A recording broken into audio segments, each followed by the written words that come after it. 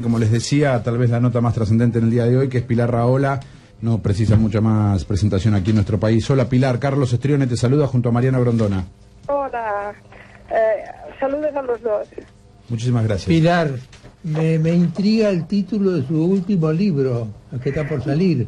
Eh, bueno, ya salió, ya salió. Ya salió, bueno. Sí, sí, tengo en mi mano la, tengo en mi mano la, versión argentina y espero que pronto, Mariano, tengas un libro, un libro en tu, en tu despacho. Bueno. Uh, sí, basta, fíjate, ¿eh? ¿Basta qué? ¿Basta qué? qué? premonición. Uh, mi libro, uh, a ver, hace, me conoces de hace años, sabes, y los oyentes que te han seguido y me han seguido en las entrevistas, saben que hace años que yo clamo en el desierto de que estamos equivocando el discurso, la mirada y la reacción ante el fenómeno totalitario que nos amenaza, que es el islamismo radical o, como dicen los franceses, el islamofascismo. Eh, finalmente, después de, estar clamando en ese desierto, yo y otras personas, no soy la única en absoluta, que vamos avisando que estamos cometiendo, cometiendo errores garrafales practicamos un buenismo tolerante con, aquellos que defienden la destrucción de la democracia y, lo que se deriva.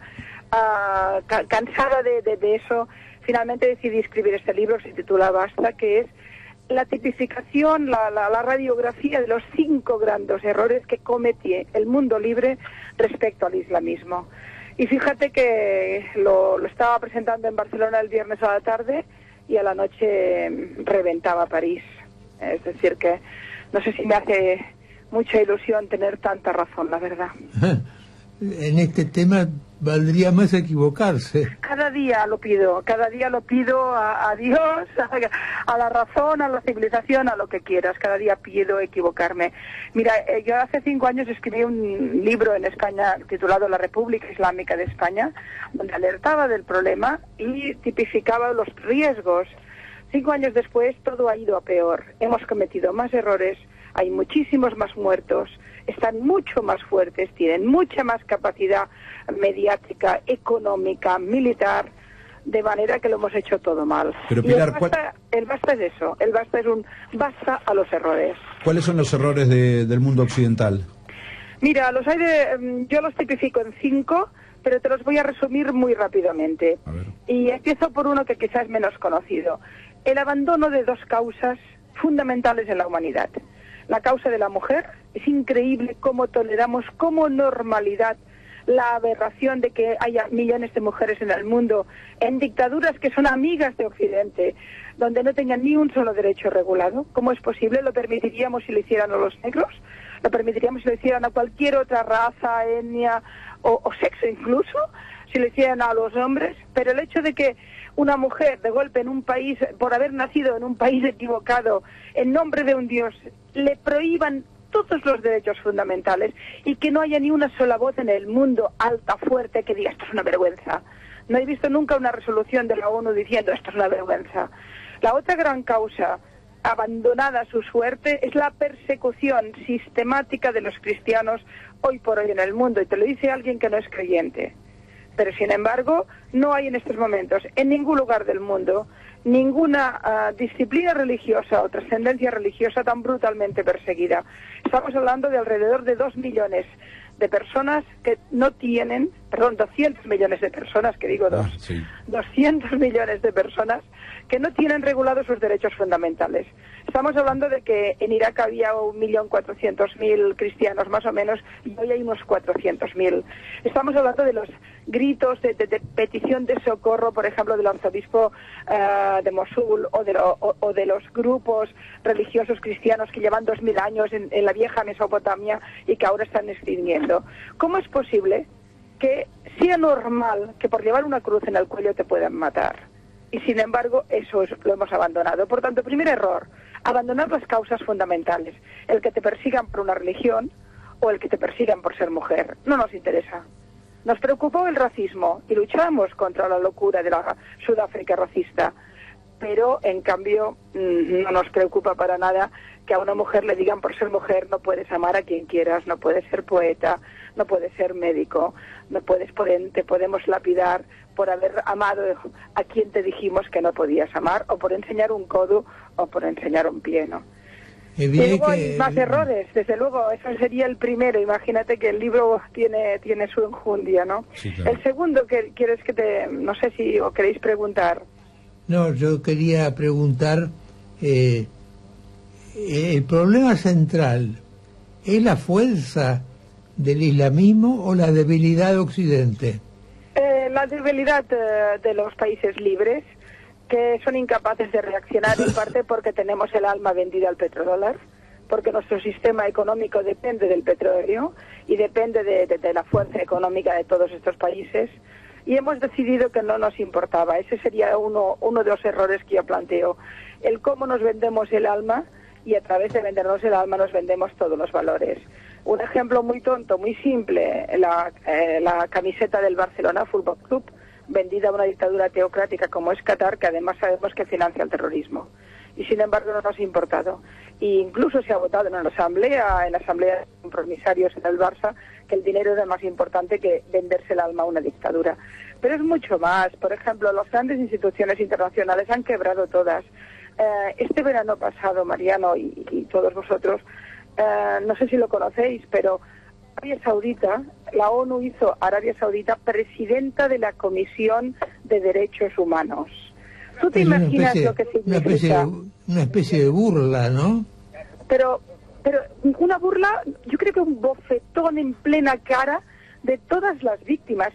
Te diré más, la resolución que elevó a presidente de la Comisión de Derechos Humanos de la ONU, Arabia Saudita, que se produjo en julio pasado y se hizo bastante en silencio porque era escandaloso, hasta que un UN Watch lo ha denunciado, no, no lo sabíamos, se produjo el mismo mes que se ratificaba la doble pena de muerte a un chico de 19 años por haberse manifestado en Riyadh y que se le ha condenado a ser eh, guillotinado, degollado y crucificado y se ha ratificado su pena el mismo momento que se les declaraba presidentes de la Comisión de Derechos Humanos.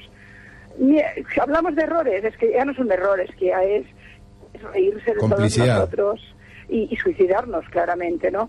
Otro error importantísimo, bueno, el gran quiebro de la izquierda. Yo me duele tanto, yo yo me apunto al grito de Glucksmann, por ejemplo, que, había sido un maoísta, habrá que muerto hace poco André Glucksmann, el gran intelectual francés, había sido maoísta, había sido un conspicuo líder desde el mayo del 68 y en un momento determinado dijo basta, la izquierda está traicionando a la libertad en referencia a la ideología totalitaria que nos está amenazando de muerte.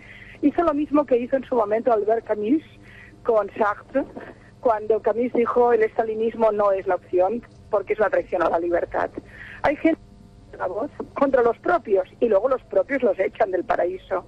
Yo, yo humildemente me han echado muchas veces del paraíso de la izquierda. No sé si es un paraíso, porque a veces parece un infierno, pero eh, porque, porque levantas la voz en contra de las opiniones eh, mayoritarias. Pero yo me pregunto, la locura totalitaria que degolla personas ante la televisión, que masacra lugar, que puede matar a unos niños porque están jugando a fútbol, que mata a otros porque son simples cristianos, que entran en una escuela en Pakistán y masacran a los niños porque están estudiando, que disparan a la Malala porque quiere estudiar y es niña. ¿Esta locura no merece una sola manifestación en el mundo? ¿Un solo grito? ¿Algún líder? del progresismo, los que levantan la voz siempre de, de, la libertad y la solidaridad y la tolerancia, ¿dónde están ahora? Yo tengo la impresión que está viviendo ah, el mismo quiebro de valores que se vivió en la Europa en los años 30 ante el crecimiento del nazismo.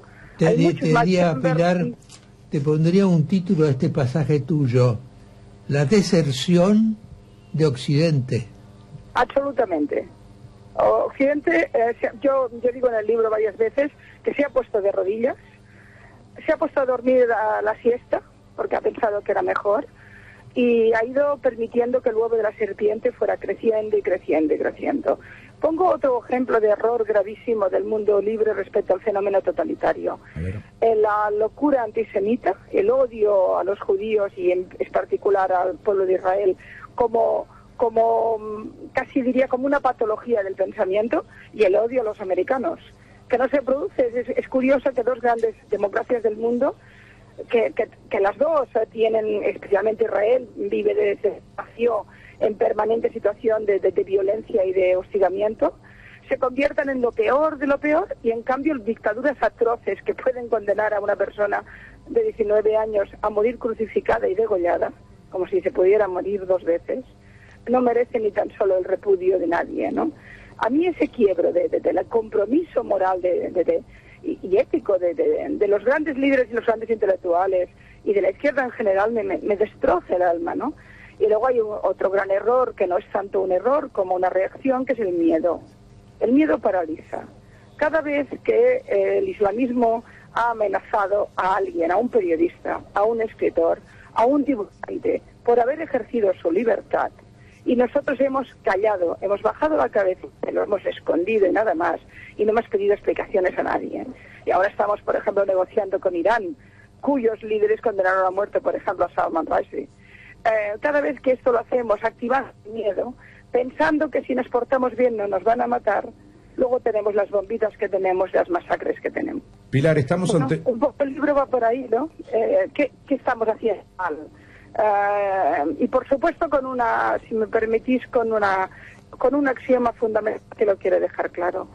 Ah, para mí esto es no es tanto un enfrentamiento de culturas o de religiones, para nada, tampoco de Occidente respecto a Oriente. Esto es civilización versus barbarie. Sí, lo dijo Rajoy también. Pero la civilización no es un lugar eh, geográfico. Los niños de la escuela de Pakistán que fueron acribillados eran civilización. Shirin de la Premia Nobel iraní es civilización. La chica, la niña Malala que quería estudiar con nueve añitos y se jugaba la vida y luego después pasó lo que pasó, es civilización. Y quienes los matan son barbarie. no es, nosotros planteamos al principio del programa, Pilar, si esto era una guerra religiosa o si es un ataque contra el mundo occidental.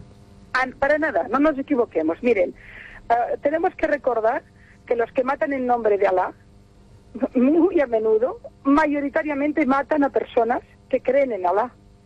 Es decir, ah, si fuera una guerra de religiones, los dioses estarían peleando entre ellos. No, es una guerra de ideas, de modelos de civilización, usando la excusa de un dios en este caso.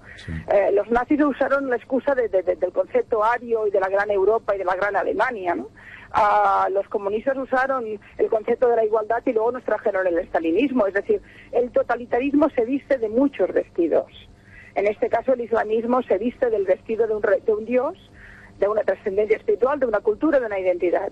Pero no podemos considerar a 1.300 millones de personas como los enemigos. No lo son. Es más, son las primeras víctimas. Mueren muchos más musulmanes en manos de estos locos que gentes que no lo sean. De manera que un choque de religiones no. Luego además hay que conocer un poco el proceso de este fenómeno ideológico. Hace un siglo, en nombre de Alá no se hacían estas barbaridades. Esto es una regresión ideológica que ha ido culminando en un proceso totalitario de enorme dimensión porque tiene todo el dinero del mundo, porque tiene toda la fuerza, toda la tecnología, etcétera. Pero no, no, no, no nos equivoquemos. Ah, yo tengo muchos amigos que son ah, musulmanes y odian profundamente a estos asesinos, porque quieren vivir su Dios en libertad. Eh, lo que tenemos que hacer en nuestras sociedades es mirar, muy es mirar seriamente dónde está lo bueno y lo malo. Quiero decir, ah, que un ciudadano argentino que crea en, en su Dios y en su identidad y respete sus tradiciones y ame la libertad, es nuestro hermano, es nuestro vecino, es nuestro compañero.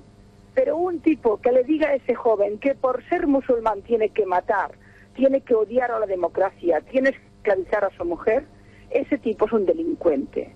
Ese tipo es un fanático fascista, en este caso un fascismo islámico. Y, esa es la diferencia. Y sin embargo, mire qué ocurre en, en, Latinoamérica. Yo dedico una parte sustancial de mi libro a la triple frontera y al papel de Venezuela con toda esta locura la banalización que se ha hecho de las dictaduras teocráticas en, este territorio, el mirar hacia otro lado con lo que está ocurriendo en la triple frontera, donde se ha creado una auténtica red intensa y bien y bien formada, mafiosa, claramente mafiosa, vinculada al integrismo islamista, con movimiento de capitales, con movimiento de, estructuras logísticas, etcétera, y sin embargo no parece que, que, ninguno de los países implicados metan mano ahí o el papel de Venezuela haciendo un, puente aéreo no solo físico, sino simbólico, económico y logístico a, Irán y, por el camino a Hezbollah, trayendo esta locura también a Sudamérica. Todo esto, ¿por qué pasa? Que no, hemos decidido no mirar, no miramos, no nos interesa. Es decir, la fuente de todo el problema está en nuestra propia ceguera. Sí, bueno, es lo mismo. Yo, yo creo que la, la dicotomía, a ti Mariano que te gusta mucho la historia, creo que estarás conmigo, la dicotomía uh, Chamberlain-Churchill es en este sentido muy clara. Hubo dos Europas. Una Europa, eh, cuando empezó el nazismo, decidió que no era su problema, que miraban a otro lado. Empezaron los trenes, empezaron las deportaciones, vivimos la Kristallnacht, y no pasaba nada. Y Chamberlain, Chamberlain decía, vamos a hablar con Hitler, vamos a tranquilizarlo un poquito, el apaciguamiento. Bien, ¿qué hacen, qué hacen los monstruos totalitarios? ¿Qué hace el mal cuando eres condescendiente? Crece y se multiplica. El mal, el totalitarismo, no se convence, se vence. Tú puedes convencer a cualquier otra persona democrática que piense distinto sin ninguna duda. Y podemos tener razón los dos, aunque lo, aunque lo veamos de, de forma muy diversa. Pero uno no puede convencer a un totalitario, porque el totalitarismo te destruye, quiere aniquilarte. Y como llevamos ya montañas de muertos, llevamos miles y miles. Un día, si tenéis tiempo y ganas, sumarlos, sin contar las guerras, solo en atentados, o salen miles. Y llevamos ya muchos años. Y sin embargo, no hay forma de reaccionar ayer aún vi a un tonto de, bueno, en España decimos un tonto a las tres, permítame que lo diga así, un líder laborista inglés diciendo que la masacre de París era culpa del Mossad y de Israel. ¿Usted, usted está tonto? es decir, em, vaya, o sea que los tipos que iban diciendo al Akbar eran judíos camuflados. Em, cuando uno llega a este nivel de tontería y de estupidez ideológica, y sobre todo llega a este nivel de buenismo respecto al fenómeno islamista, acaba siendo cómplice. Pero Yo creo que hay que decirlo así, cómplice. Ahora, el islamismo es todo malo o tiene un núcleo malo? No, ah, también en eso quiero dejar claros los conceptos. El Islam es una religión. Puede ser, como todas las religiones, interpretada para el bien o para el mal igual que el catolicismo, igual que cualquier derivada del cristianismo, igual que el judaísmo, igual que todo. Tú puedes a través, a través de Dios hacer las cruzadas o a través de Dios ser Santa Teresa de Calcuta y hacer el bien en el mundo. Por tanto, los dioses no tienen poca. Es la interpretación divina la que finalmente nos lleva a la locura. En el caso del Islam, eh, el Islam hay gente que a través de su fe religiosa son excelentes personas, y ayudan a los otros y, tienen unos conceptos valóricos que son fundamentales para vivir en sociedad y hay otros que en nombre de su Dios deciden que hay que matar al prójimo. Por tanto, la religión no es, el Islam no es el problema y eso lo llevo años, creo que 15 años diciéndolo y lo voy a repetir mil veces. El islamismo es una ideología, eso es distinto. Y el islamismo tiene como objetivo final la aplicación de la Sharia. Es decir, convertir las sociedades del siglo XXI en sociedades del siglo VIII. Estos son un problema. Claro, pueden ser islamistas no violentos, pero quieren destruir la democracia, ¿eh?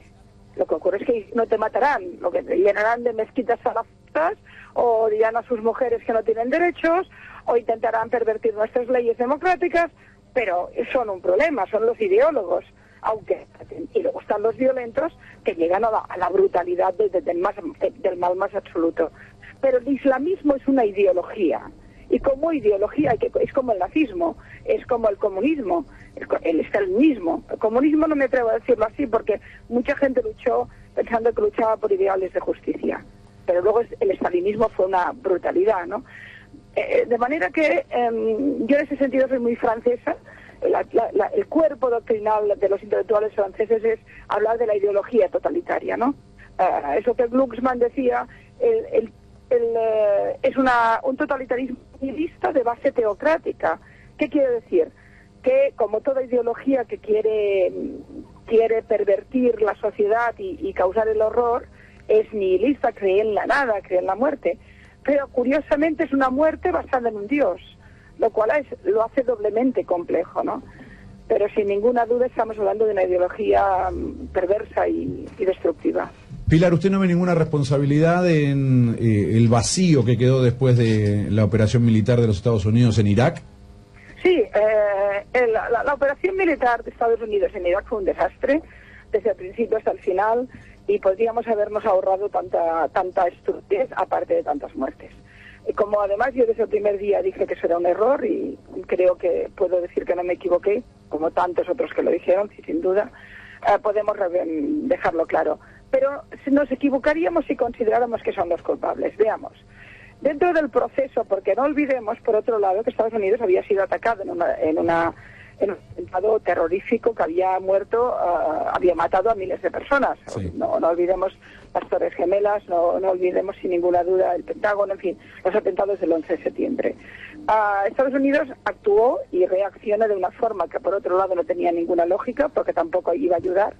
Y es cierto que descabezar la dictadura de Saddam y descabezar a su propio ejército, parte muy importante de los líderes del ejército de Saddam se han ido al Estado Islámico y lo han convertido en, lo que ahora es, que es un ejército realmente armado de mucha eficacia mortífera. Además se ha, creado, se ha creado una zona de gas donde el califato islámico se ha instalado y va a ser muy difícil sacarlos y los errores en este sentido se han ido acumulando. Pero el fenómeno ideológico que ahora nos mata, que, mató el viernes en París y que mata tanto, es muy anterior a las metidas de pata o a los errores o incluso a las culpas de Estados Unidos o de, o de la Gran Bretaña o de Europa en general. Piensen en la ideología que nace en los años 20, después de la Primera Guerra Mundial, cuando cae el califato turco y buscando la, idea de volver a recuperar la grandeza de un califato islámico nace a partir de Hassan Albana en, en los años 20 y se va cuajando como una ideología totalitaria a la que no le hacemos demasiado caso. Pero sé que es un lugar común, de, especialmente en sectores universitarios o de izquierdas, considerar que los yanquis tienen la culpa de todo. Ese fenómeno nació cuando Estados Unidos no era nada, pero nada, ¿eh? Europa estaba destruida en una primera guerra después en una, en una segunda, y hombre, yo diría que si tiene alguien culpa, si hay estados que tienen culpa, tienen infinitamente más culpa las democracias de Oriente Medio, que financian con millones de dólares a los imanes radicales y nos los envían por todo el mundo, dejando la cabeza hueca a muchísima gente, mucho más que cualquier otro país. Pero sin embargo, nunca señalamos eso. Hablamos de los yanquis porque eso es fácil. ¿Quién no le da a los yanquis? ¿Y da yanquis un deporte nacional? ¿Por qué no hablamos de los sauditas, de los catarís, de Emiratos, de la guerra en el Yemen, de la locura de Irán. Ah, no, eso nunca nos preocupa. Clarísimo. Este, el problema somos nosotros. Siempre lo fuimos. Siempre lo fuimos. Pilar, fue un, fue un placer hablar con, con usted nuevamente y bueno, esperamos convocarla para, para otro tema más adelante. De acuerdo, y mucha suerte. Y bueno, y mucha suerte también con el balotaje y con el cambio en Argentina, que bien le sentaría un cambio a Argentina para dejar atrás el populismo, otra de las cosas que han combatido también usted y el doctor Rondona. Bueno, es que Argentina se ha acercado tan peligrosamente al eje bolivariano que ha hecho mucho daño a, su propia imagen y a su propia credibilidad, sin ninguna duda. Pilar, un saludo cordial, muchísimas gracias. Gracias a ustedes. Pilar Raola, autora de su último libro que se llama Basta, que tiene que ver, por supuesto, con lo que eh, está sucediendo en el mundo, ¿no? El avance de los fundamentalismos.